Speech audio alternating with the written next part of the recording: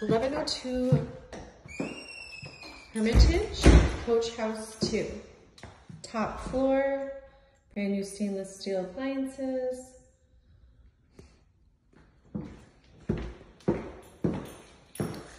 Good sized bedroom. Could definitely fit a king, queen, nightstands, dresser. A lot of closet space. Brand new bathroom vanity.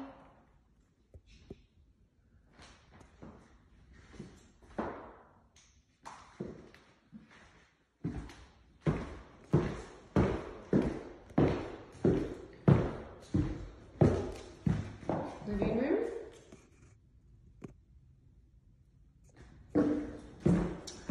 You can see down into the yard and then the front house. Washer and dryer is on the first floor in the bottom of the coach house, shared with the first floor unit.